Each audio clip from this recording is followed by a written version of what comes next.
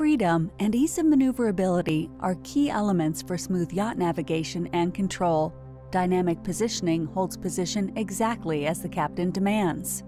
Rhodium Dynamic Positioning is RH Marine's solution to contribute to an outstanding yachting experience. Easy to use and allows the operator to precisely maneuver the vessel with a single joystick. On many interesting spots, dropping anchor is no option due to the beautiful but vulnerable seabed. Using dynamic positioning keeps the yacht at the same location while the guests enjoy the marine life.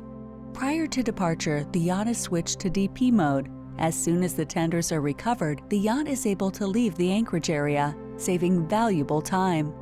The joystick mode can be used to automatically hold and rotate the heading of the yacht, allowing guests to relax in the sun. Whether you'd like to include the Rhodium Dynamic Positioning System into your existing bridge, or if you're looking for a fully integrated Rhodium bridge, RH Marine has the suitable solution for your yacht.